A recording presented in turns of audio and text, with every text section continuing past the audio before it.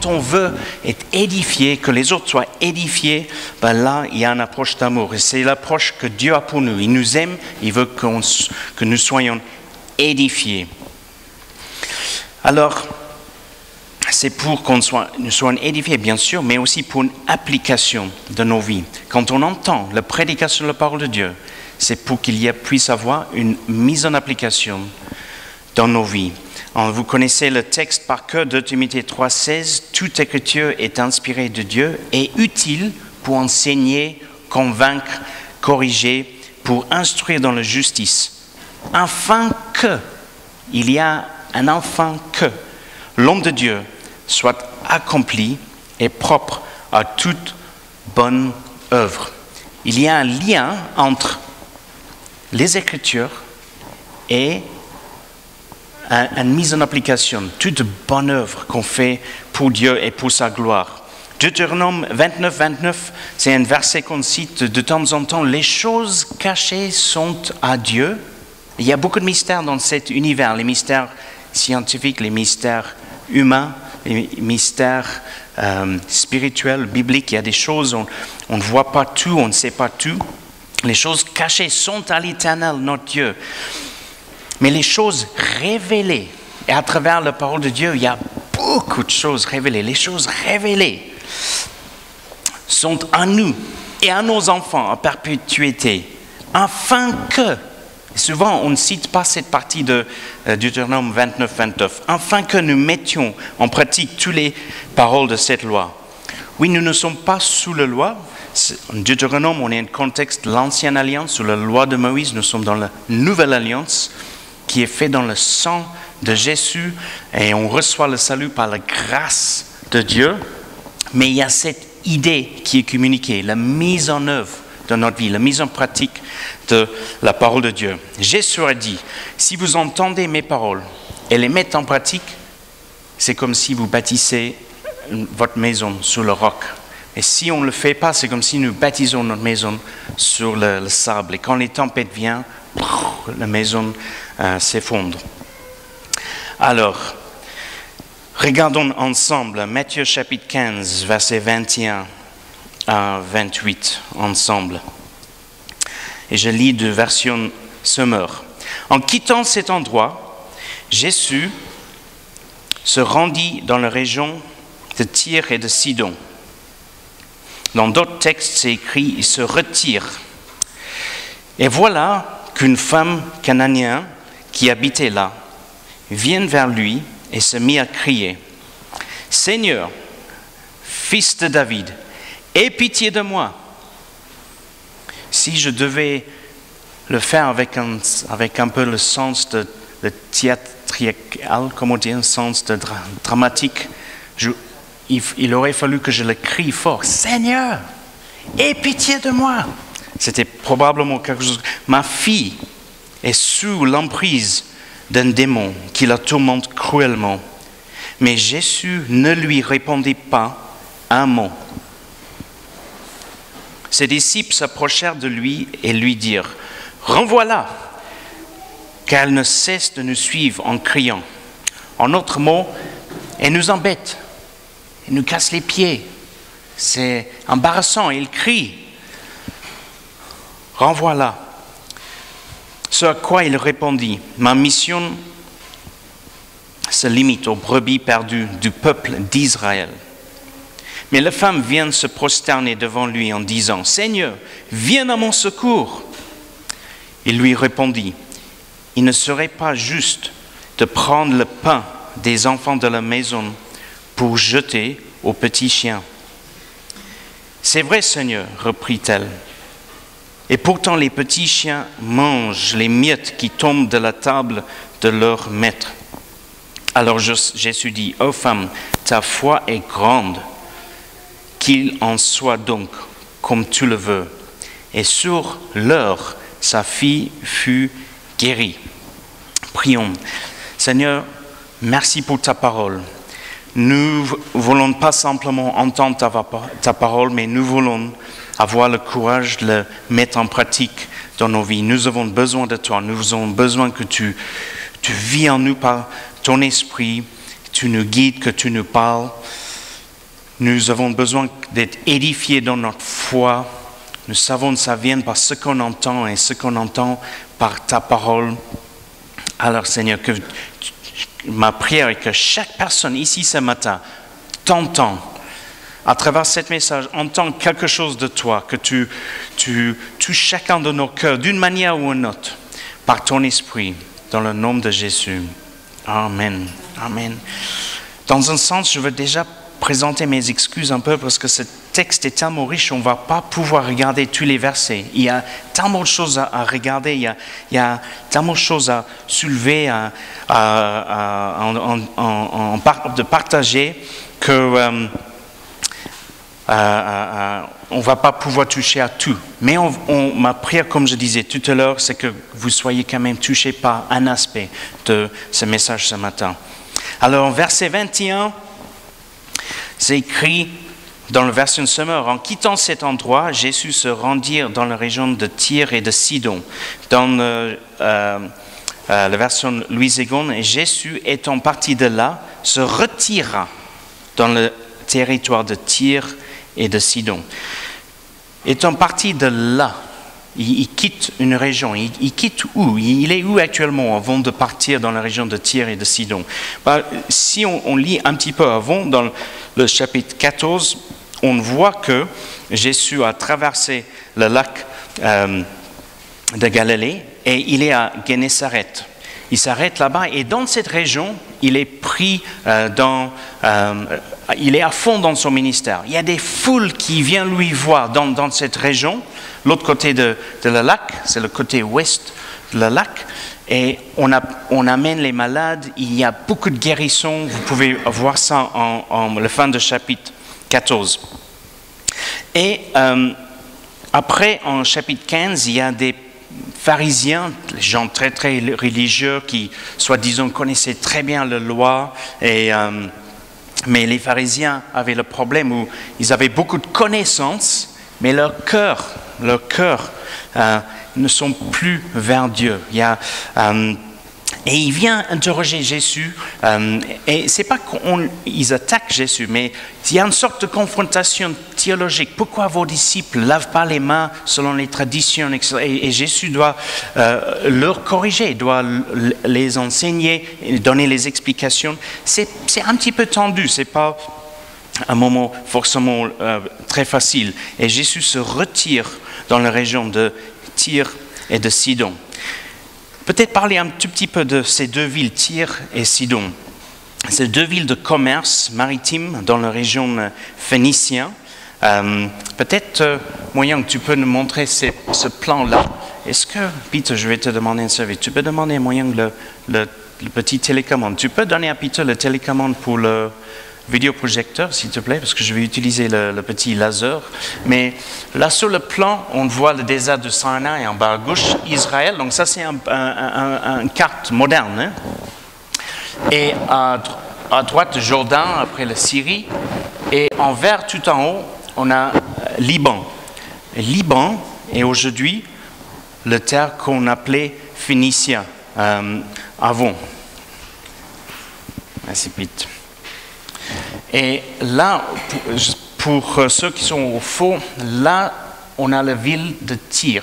Et il n'est pas sur le plan, mais juste à peu près 30 km plus au nord, on a la ville de Sidon, à peu près là, donc sur le côte euh, ouest du Liban.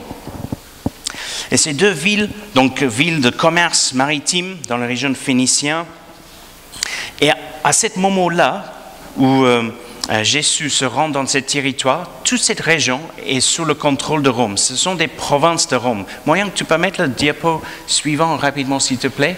C'est un petit. Donc toute cette région autour de la Méditerranée est sous le contrôle de Rome. La France inclut. Hein. Et, euh, et, donc euh, là, on est, on a Israël et on a la région des Phéniciens. Et les deux ports-là, les ports très importants. Euh, moment, je crois c'est en Acte 21, Paul va faire escale à, à Tyr pour euh, revenir à Jérusalem. Mais dans la Bible, Merci, tu peux te mettre sur le diapo suivant, euh, Manu, merci. Dans la Bible, euh, Matthieu parle d'une femme cananienne qui vient vers lui pour, dire Aie pitié de moi. Dans l'évangile de Marc, Marc parle de exactement le même moment. Il va décrire les mêmes événements, mais il ne va pas dire une femme cananienne.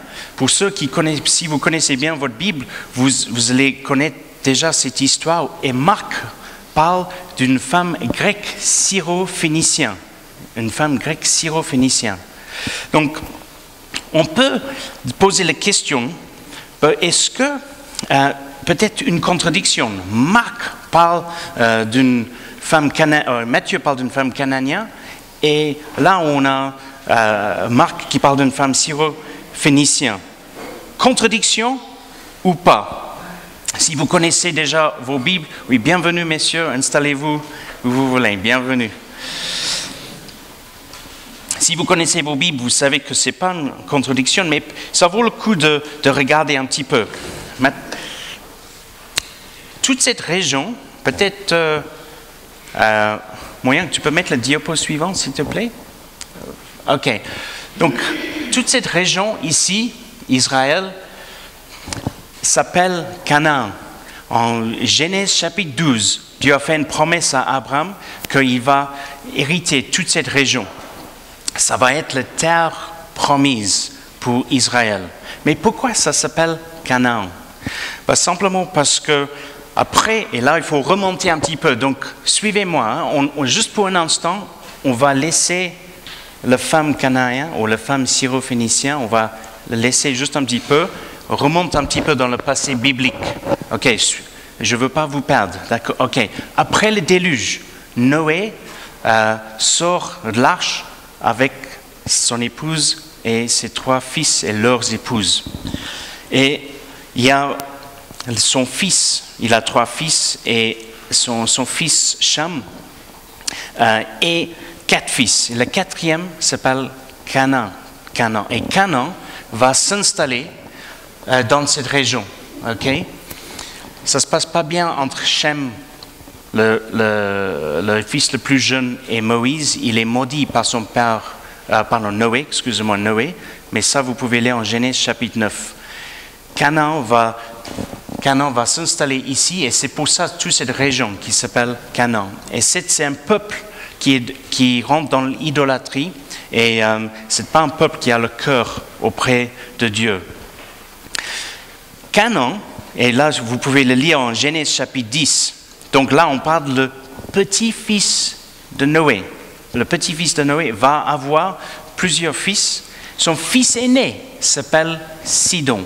Et donc, la ville de Sidon, qui est là, là c'est Tyr, et le ville, oh pardon, là c'est Tyr, là c'est Sidon. La ville de Sidon est appelée Sidon parce que c'est l'arrière-petit-fils de Noé qui va euh, y s'installer et, mettre en place euh, cette ville.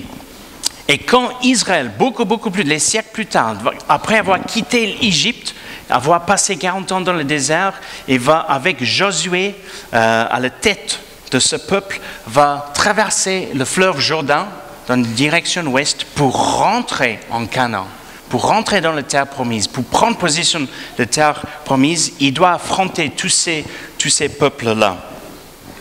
Et tout, chaque tribu, sur les douze tribus d'Israël, chaque tribu est attribuée un territoire. Et là, on voit sur le plan, là, il y a Judas, il y a Ruben, il y a Gad, Manessa, Dan, etc., etc. Et là, cette région, ce territoire-là, c'est Aser, le huitième fils de Jacob qui s'appelle Aser, et donc c'est le huitième tribu d'Israël, c'est leur héritage là. Mais ils n'arrivent pas à prendre Tyr. Tyr va rester indépendant. et finalement, toute cette, toute cette région-là va rester la région des Phéniciens. Et Tyr devient une ville très puissante, très riche grâce à ses commerces et ses échanges maritimes. Et donc, les habitants les habitants de cette région étaient des Canaanites. Mais plus précisément, les habitants de cette région étaient les Phéniciens. Et c'est pour ça, quand Matthieu parle dans son évangile une femme cananéenne, et dans l'évangile de Marc, il dit une femme grecque syro-phénicienne. Ce n'est pas une contradiction, c'est juste les informations complémentaires. C'est comme si vous êtes charentais et français. Ce n'est pas une contradiction, c'est des informations complémentaires, n'est-ce pas? Et donc, on a cette précision. Jésus va quitter cette région-là, il est juste à, côté du lac de Galilée, il va rentrer dans la région de Tyr et de Sidon. Et cette femme qui habite dans cet endroit va venir lui voir. Mais vous pouvez me demander, ok, mais Tim, mais pourquoi tu nous donnes cette leçon un peu d'histoire sur la ville? C'est pas euh, très important. Il y a quand même un arrière-plan. Il y a des choses qui, et quand on a le temps, ça vaut le coup de, prendre en, compte certains faits, certaines informations par rapport à ces villes-là. Parce qu'on peut, on peut quand même apprendre les choses. Suivez-moi, d'accord Vous allez voir, on va arriver. Juste quelques minutes de patience. D'abord, en 1 Chronique chapitre 14, il y a le roi de Tyr qui s'appelle Hiram, qui s'entend très bien avec le roi David. Et peut si vous avez déjà lu ce texte, vous vous rappelez que le roi de Tyr, et à ce moment-là, la ville de Tyr est au summum de sa puissance, sa richesse et sa, toute sa gloire. Et le roi de Tyr est un bon roi, il s'entend bien avec David, et il va fournir du bois et envoyer des maçons, les charpentes, etc., pour aider le roi David à construire sa maison. Et pas longtemps après, quand il y a son fils Solomon, qui devient roi d'Israël, le même roi de Tyr va également donner des matériaux pour que, et du bois pour que Salomon puisse euh, construire le temple. Et donc il y, a, il y, a, une relation entre cette ville et euh, Israël. Mais les choses changent avec le temps. Et il y a un moment dans l'histoire d'Israël où ça ne va pas, il y a le péché, et Dieu enlève sa main de bénédiction et de protection sur la nation d'Israël il permet que Nebuchadnezzar vienne faire un siège autour de la ville de Jérusalem. Et nous, savons que Nebuchadnezzar, après presque deux ans de siège, va rentrer en Jérusalem, détruire la ville et brûler le temple. Et pendant cette période-là, il y a quelque chose qui se passe en Tyr, et la ville de Tyr, les habitants de Tyr se régalent dans ce, qui se passe en Jérusalem. Ils sont contents, ils, rigolent. Euh, de ce qui se passe à Jérusalem, peut-être parce qu'ils croyaient que maintenant, comme la distance entre Tyr et Jérusalem à vol de voiseau, c'est à peu près 170 km, c'est pas si loin, qu'il allait avoir plus d'influence, plus de pouvoir, plus de richesse. C'est incroyable.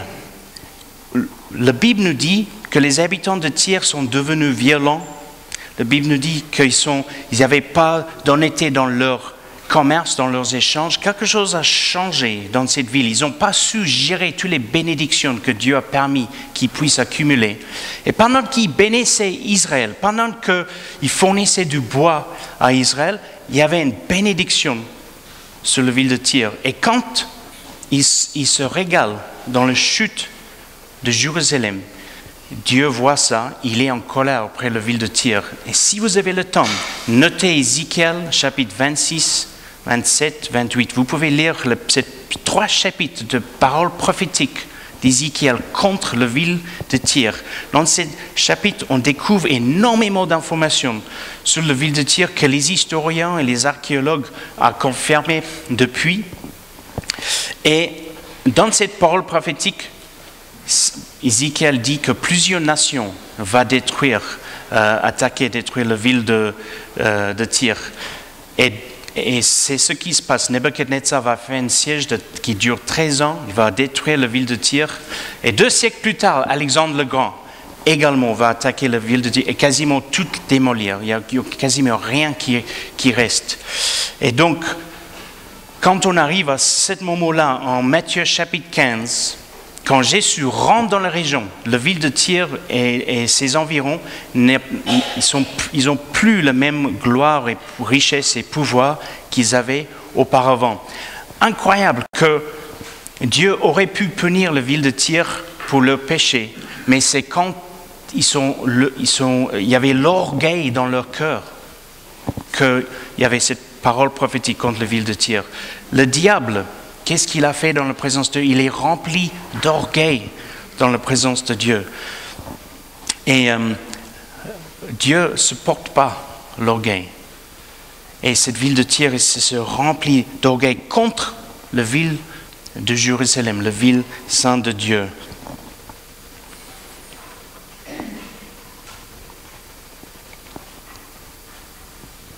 Juste quatre chapitres plus tôt, en Matthieu chapitre 11, Jésus fait référence à les villes de Tyr et de Sidon.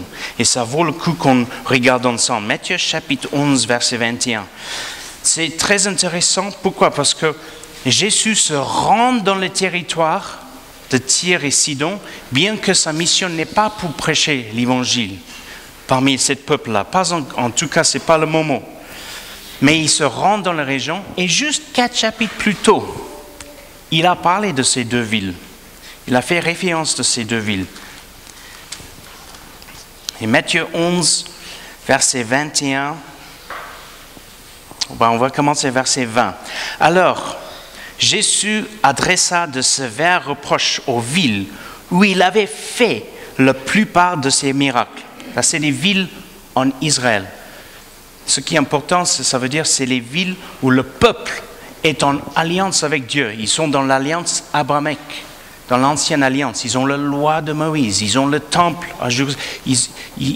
C'est le seul peuple qui loue et adore Yahweh, l'Éternel, le Créateur de l'univers.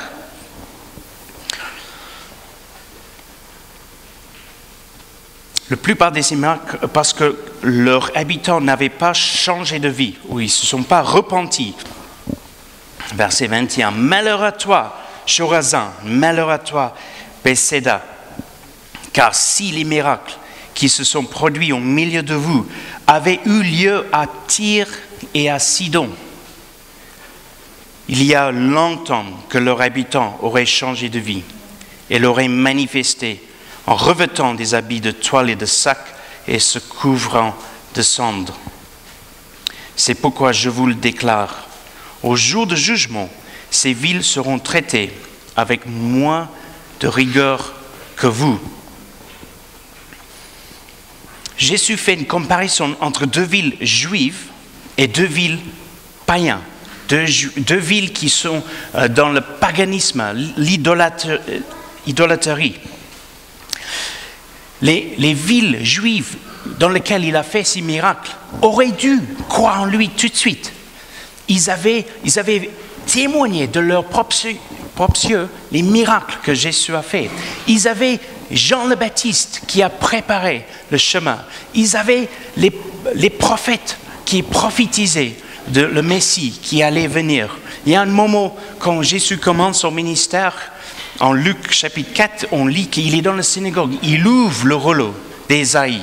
Il va lire un texte d'Ésaïe. Et à la fin de cette lecture, il ferme le rouleau et il, annonce, quand tous les yeux sont braqués sur lui, il dit, aujourd'hui, cette parole de l'Écriture que vous venez d'entendre est accomplie dans votre présence. Boum Il annonce, c'est moi, c'est moi le Messie. Cette parole prophétique, c'est me concernant. La parole qu'il a lue, c'était parce qu'il m'a oint pour annoncer une bonne nouvelle aux pauvres. Il m'a envoyé pour guérir ceux qui ont le cœur brisé, pour proclamer aux captifs la délivrance et aux aveugles le recouvrement de la vue, pour renvoyer libres les opprimés, pour publier une année de grâce du Seigneur. Nous sommes toujours dans cette année de grâce, on est dans cette période de grâce. À n'importe quel moment, n'importe quelle personne sur la surface de la planète peut dire, Seigneur, aie pitié de moi, aie pitié de moi comme le Canaanite. Aie pitié de moi, de mes péchés. Je suis un péché. Je ne suis pas en alliance avec toi. C'est-à-dire, je ne suis pas en paix avec toi. Je ne suis pas en relation avec toi. Je, je, je suis coupable de mes péchés. Aie pitié de moi. Et cette personne va recevoir la grâce de Dieu en plaçant leur foi en lui. Si on continue, malheur à toi, euh, pardon, on à Matthieu 11, 21. Malheur à toi, Chorazin, malheur à toi, Bethsaida, car si les miracles qui sont produits au milieu de vous avaient eu lieu à Tyr et à Sidon, deux villes païennes dans le paganisme, il y aura longtemps que leurs habitants auraient changé de vie. Après, Jésus continue et dit, Et toi, Capernaum, verset 23, crois-tu que tu seras élevé jusqu'au ciel? Non, tu seras précipité au séjour des morts. Car si les miracles qui se sont produits chez toi avaient eu lieu à Sodome, elles existeraient encore aujourd'hui. C'est pourquoi je vous le déclare, au jour du jugement, le pays de Sodome sera traité avec moins de rigueur que toi. Attendez un instant. Ce que Jésus est en train de dire, c'est que malgré le fait que le jugement de Dieu est tombé sur Sodome et Gomorre quand il a détruit ces deux villes, malgré que ce jugement est venu plus tôt que parce qu'il y a un jour de jugement, Jésus fait référence d'un jour de jugement après la résurrection.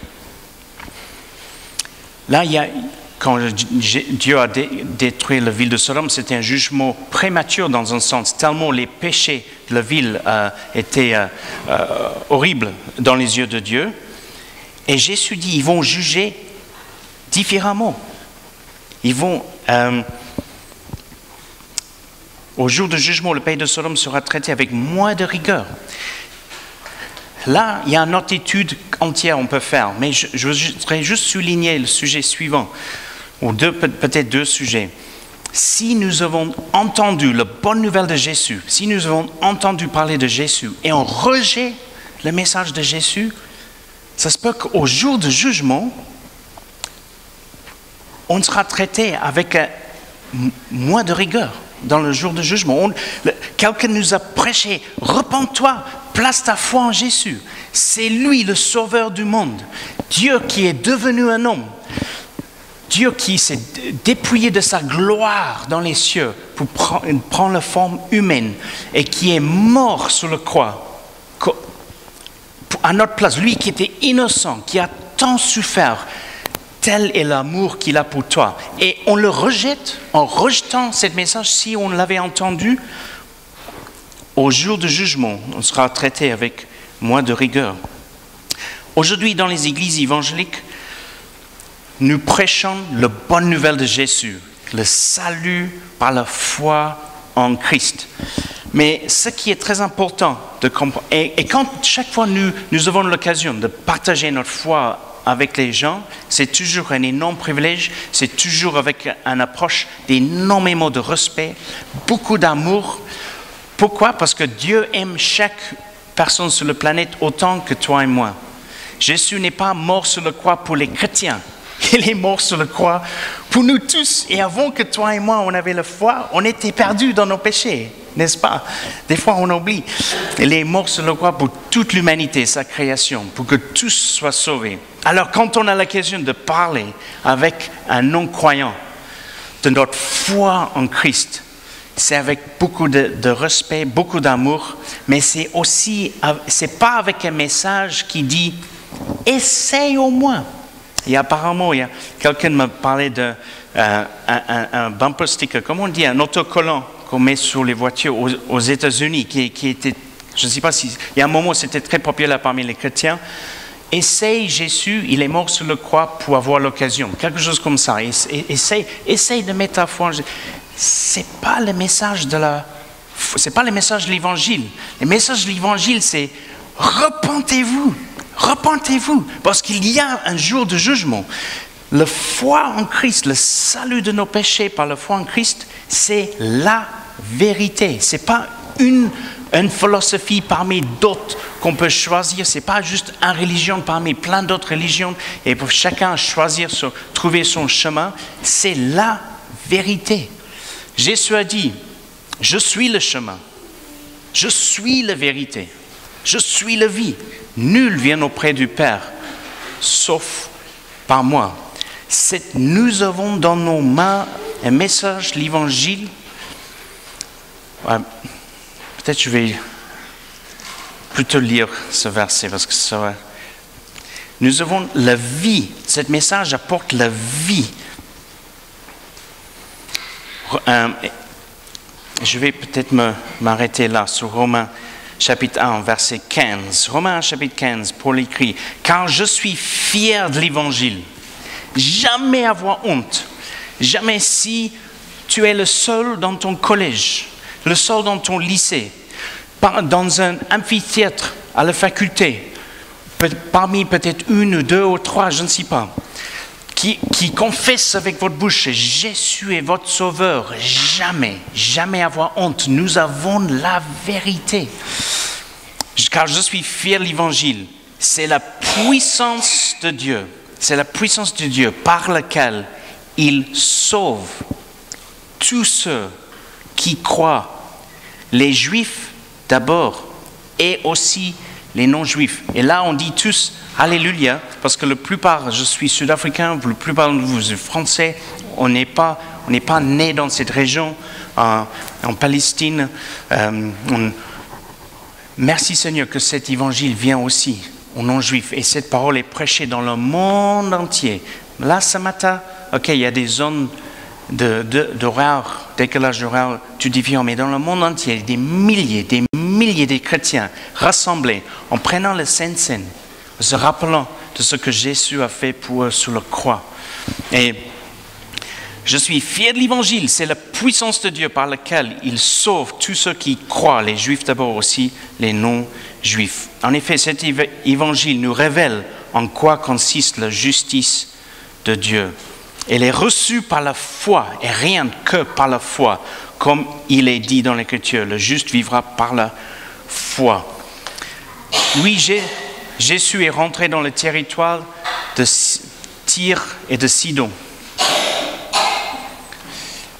Ce n'était pas encore pour prêcher pour les peuples qui habitaient là, mais il, il va avoir une rencontre avec une femme. Et c'est elle qui vient à à comment on dit, son recherche, sa recherche, comment sa recherche. C'est elle qui vient à Jésus. Jésus, aie pitié de moi. Mais ce qui est bien de comprendre, c'est derrière ce moment, il y a toute une histoire, toute une histoire, des siècles d'histoire, une ville qui est bénie, parce qu'eux, ils bénissent Israël. Après, une ville qui, qui se moque de Jérusalem, et il y a une parole prophétique contre cette ville des nations qui, viennent détruire la ville de Tyr. Mais merci Seigneur, il y a quand même le salut pour ses habitants. Et ça commence avec une femme, cette, cette femme-là, qui vient à la recherche de Jésus. Nous venons à la recherche de Jésus. Nous disons, Jésus, aie pitié de moi, aie pitié de moi, sauve-moi. J'ai besoin de toi, j'ai besoin de ton pardon je place ma foi en toi. Et je peux être, on peut être fier de l'évangile. Pas, fier, pas une fierté où ça mène à l'orgueil, mais fier que nous avons cette, euh, message qui nous, qui nous, donne le salut, être sauvé de nos, nos péchés. Amen. Je vais m'arrêter là. On va continuer. Euh,